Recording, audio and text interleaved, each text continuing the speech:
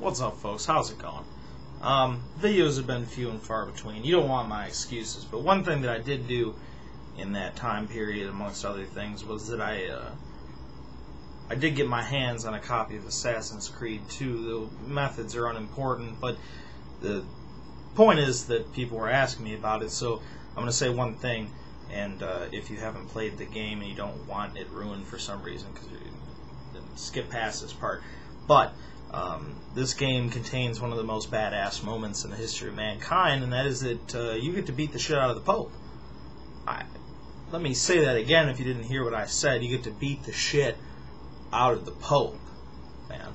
Um, so get that game. I, it doesn't matter how. Play that. That's awesome. I was super excited about it. Uh, speaking of popes, Catholics, with the new sex abuse scandals going on here, we, I'll go on CNN and, and especially late at night when I go on CNN. Sometimes I feel as if I might have fallen into some sort of alternate dimension where everything is fucked. And I, I, I look at a, a, a story I saw the other day. Um, priests in Connecticut, I believe it was Connecticut, um, the Catholic Church in Connecticut is opposing a new um, law to uh, lengthen the statute of limitations on uh, child abuse, right?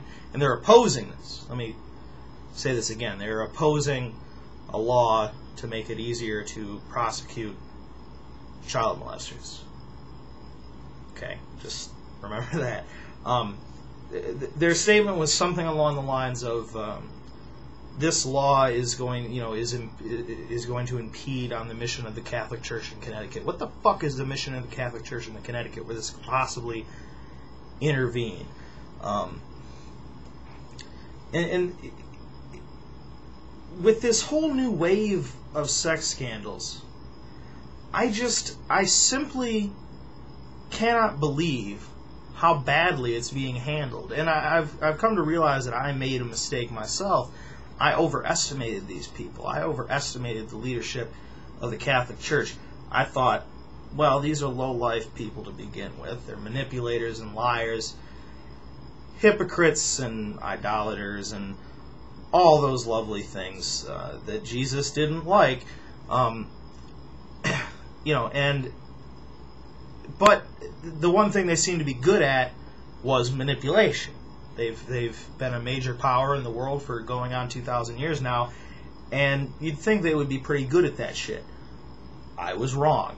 Um, who the fuck is running the PR for these people? Who the hell is in charge? Who is running the ship in the Catholic leadership?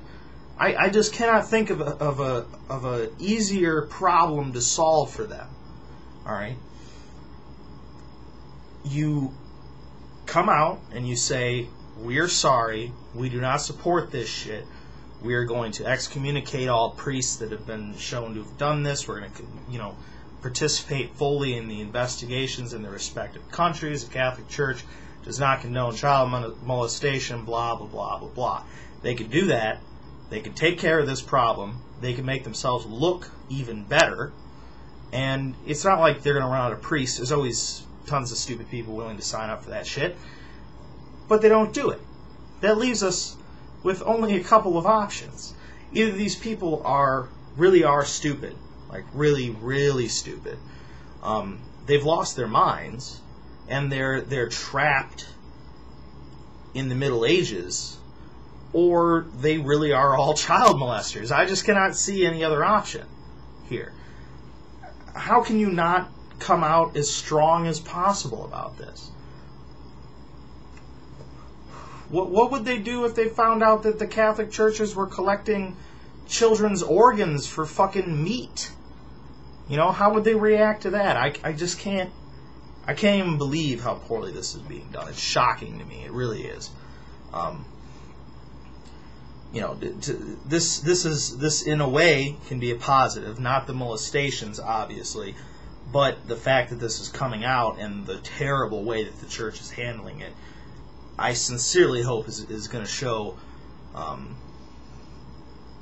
the Catholic community that at the very least the the Catholic Church is corrupt beyond um, beyond reformation. It's it's done.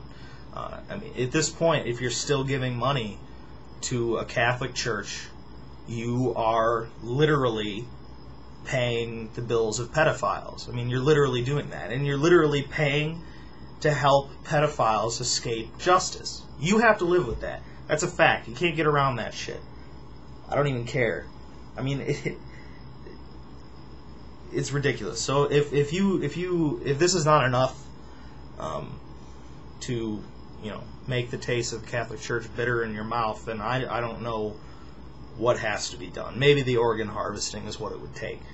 Um, you know, I.